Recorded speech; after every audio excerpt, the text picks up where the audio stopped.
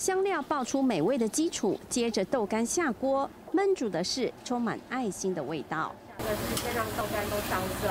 对，因为知道施工上人要买疫苗捐给台湾的人施打，就想说趁这一次可以做我会做的东西出去义卖。就读高职餐饮科的美珍向母亲借了钱，买来豆干和香料，要用烹饪专长做好事。我一开始以为很简单，但后来发现。去买食材，然后提上楼，很辛苦。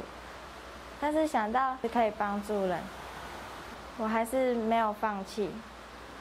因为施工上人说有心就不难，心中有上人的法，美珍突破困难，欢喜滋养她十六岁的心。认识慈济约在七年前，当时来自越南的母亲独自抚养孩子，亲子间常有摩擦。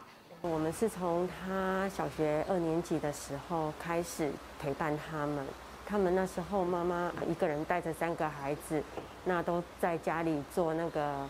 奶瓶刷的代工工作，志工陪伴他们参加亲子班多年。如今的美珍懂事又贴心，这次主动贡献自己的烹饪良能，让母亲好骄傲。我觉得他这样子很棒，很有爱心，很棒。